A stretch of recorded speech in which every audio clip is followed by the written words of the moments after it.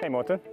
It's great to meet you in person. Nice I've watched so many you. of your videos and it's great to actually meet you finally. The key reason that we're here is uh, there's a couple of different styles of photography that we both have and we obviously want to try and blend those together and try and learn from each other I think.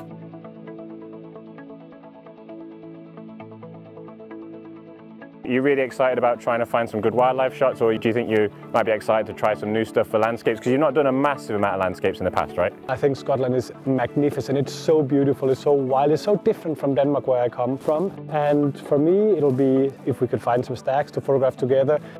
But mostly, I think it's really good for me to team up with a landscape photographer and look over your shoulder and to be able to see what are you doing, how are you using your equipment, how do you use filters. I'm really looking forward to it. And from my side of things, I'm really excited to see the way that you track and, and stalk animals and so on, you know. I'm really excited to get started, so let's jump in the car and let's go. Let's do that. Cool.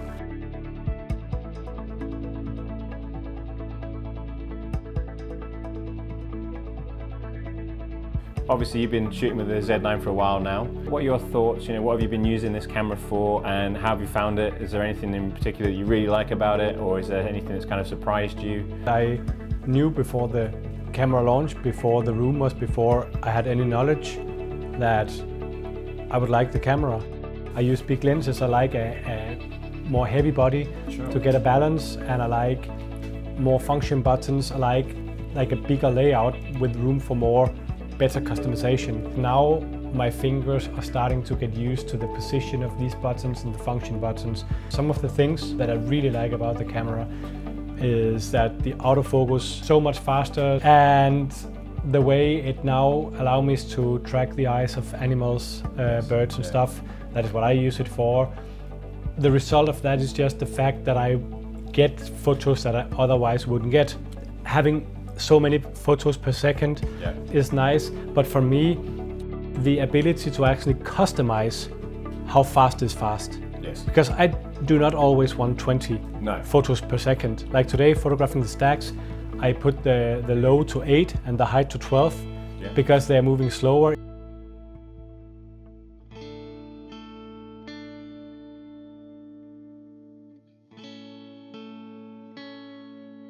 How did you get on with the 100 to 400? Oh, look. When I first came here, I had this. That was what drew my attention and made me run up here. That that hazy backlit haze up Yeah. there, so the ridge came up so like that. Yeah. And then within like 30 seconds, it went from this. The sun just- got too yeah, yeah, and then you gone. can see, it's just gone. Yeah. Because Yeah. it's been so windy as well, the light's just changing all the time, Yeah. right? And the cloud cover's moving all the time, which I love Yeah, from a long too. exposure. It's but really It makes it difficult to get shots like that. But the longer focal length, that 100 to 400, really helped to kind of pick out that Yeah. V in the mountains, right? Yeah, let's just hope that they kind of like we get a little light again. Yeah, no, I think so. I think so. I think as this cloud moves in, we'll get a really nice mix of light throughout the day, so it should be good. From a lens point of view, you've obviously been shooting with the 100 to 400 recently. How have you found that so far? I want to be as light and compact as possible when I'm traveling with my Sure. gear, when I'm in nature. So I basically need two things. I need something that is super fast, super sharp, good in low light, and with a long reach. But then at the same time, I need a flexibility. Sometimes when you sit down, you like commit to that location. Yeah. You can't just move around. No. And from the same location, I need to be able to shoot wide, so I get the animals in the environment and at the same time get close. And the 100 to 400 does most of that for me, but what I love about that lens is the fact that it's so silent. Hmm. So for the first time now, I can actually record the audio from the animals that I'm photographing because of the fact that the stabilization in the in lens is so quiet and because the autofocus is quiet. Again, bringing down the amount of equipment, I actually use it a little bit for macro Nice, because uh, nice. it focuses so close. It has a really nice close focus Yeah, distance, it has. it? Yeah, and I think So- that you know, that's where even using teleconverters can really come in because you can use teleconverters Yeah. with the 100 to 400 and the teleconverter won't change the closest No. focusing distance. So when you do want to do those close-up detail shots, when you're waiting for the wildlife to appear, then you can obviously get some really cool stuff with that Yeah. as well. The 400 2.8, this is obviously the first time that you've been able to use the 400 2.8. It's the first time you've actually seen it in person as Yeah. well, right? So what are your initial thoughts, your first kind of hands-on experiences and you know, is this a lens that you think you'll start to want to add to your camera bag? This lens is like one of the things that you wish and you think, why is it the first super fast telephoto lens with a built-in converter? Because it's it's so good. It's quiet like the 100 and 400. The two things that I really, really, really like about this lens is that I can handhold it. Yeah. It's so light, Mhm. and this is the feature that I love the most. Being able to basically have your finger going like that while you're photographing, you have two lenses in one. It kind of covers my need from having a flexible lens in Yeah. a way. Physically, is still a relatively large lens, but considering the fact that you have a 400 at 2.8 and you then have that built-in teleconverter which gives you that 560 at f4, it is just those kind of two lenses in one, right? So it is quite a flexible piece of kit all Yeah. around, really. When it comes to the kind of landscape side of things, I've generally been shooting all my landscapes on a 14 to 24, Yeah. whereas you've been doing a lot of landscapes on that 100 to 400. Yeah. And that's when it comes back to that kind of flexibility, but it's a completely different lens for landscapes, Yeah. right? And um, hopefully you've enjoyed that experience today Yeah. and just kind of learning how to um, you know, maybe tweak your composition here and there just to get some really nice landscape shots, but still with a longer focal length. So hopefully that's been a good experience for you shooting some landscapes with that today, really.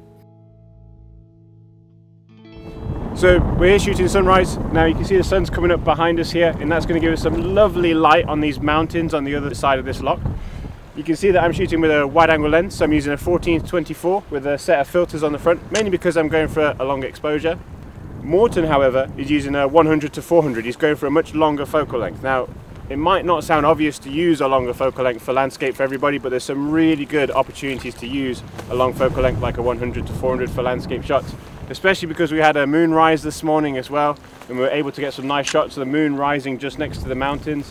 So it's one of those things where you can either go wide or you could go for a longer focal length, and we're just trying out both here. It's a really good testament to how different photographers can shoot the same scene but still get completely different results. So I don't know if you can see, but as quickly as these clouds are moving across, Yeah. that's what I'm looking at really. I'm not really worried about smoothing out this foreground because you could do a quite a short exposure, as you know, and Yeah. you'll smooth the water out here. Yeah. But the cloud movement is why I really want to shoot a really long exposure, and then in the final image, we should get this really nice draw of clouds Oh, yeah. across the sky. So the last it's shot that I yeah. took, that you can see the there's a movement. That's at 60 seconds. Just Ah. that movement of cloud just really draws you in. Ah, it looks pretty good. It's like the filters are what let me shoot for 60 seconds, and if I couldn't shoot for 60 seconds, I just wouldn't get that movement. in the shot, Yeah, so. I reckon when, when you're on 40 millimeter, they are moving relatively slow.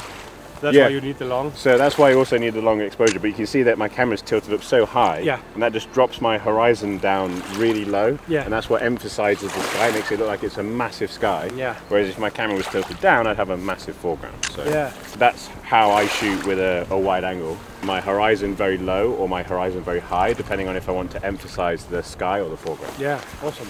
Previously, you've not done a massive amount of landscape photography. Any landscape that you do do is generally based around longer lenses. Yeah.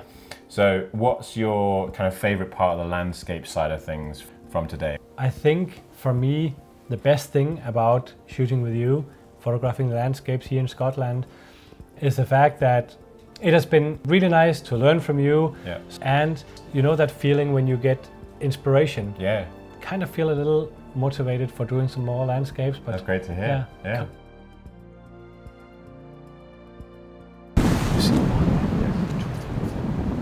I think oh, I think I will go that way around to the left, see if I can cross the rivers so I can get some like get a little closer to them. I don't know what you are you going with me or I are you think, I think if I go the opposite way, Yeah. and then if they push through those trees, we can get some really nice shots from both angles, and it just Oh. covers all the different directions. Yeah, maybe you can get like Yeah. Try to get them with the trees and then the Yeah. stack, something like that. Okay, cool. Yeah, Let's do that. I'll see you soon. So, Morten's over there to my left-hand side. He's on the other side of the river. I can see the stag's actually right in front of me here. I can get a really nice shot with it framed between the two trees. I'm going to try and shoot nice and low because the ground rises up in front of me. Gives this really nice kind of out of focus foreground area. So I'm going to try and add that in the shot if I can. Hopefully it stays where it is. I can see Morten's over on the left-hand side. He's moving forward as well. So I'm going to try and move forward and see what I can get and hopefully we get some good stuff.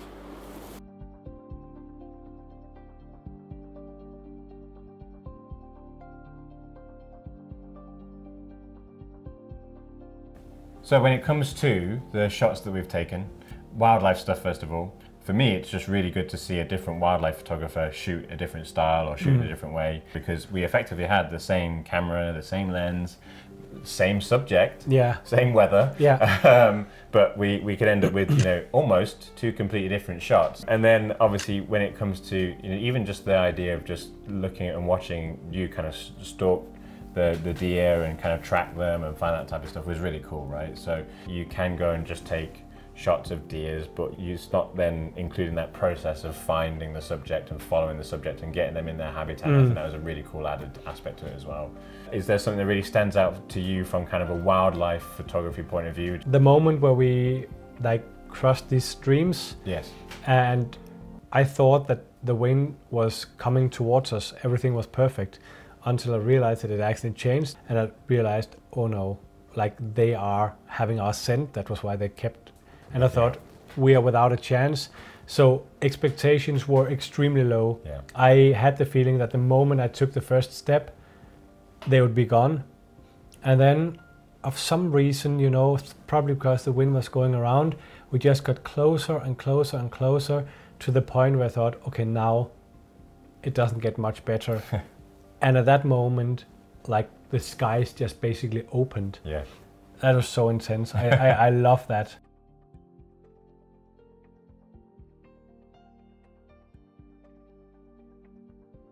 Okay, so Morten, um, we've got a break in the clouds that's just past us, and we've been able to shoot some astro stuff, and hopefully the cloud's are going to break again. I know it's raining right now, but as we've seen over the past couple of days, the weather's been blowing through really quickly, right? Definitely. So I know that you've shot astro stuff before. I've done a lot of astro stuff, but there's a couple of modes that I'm right in saying you might not have used yet in the Z9 that I just want to talk you through. And the first one of those is starlight view.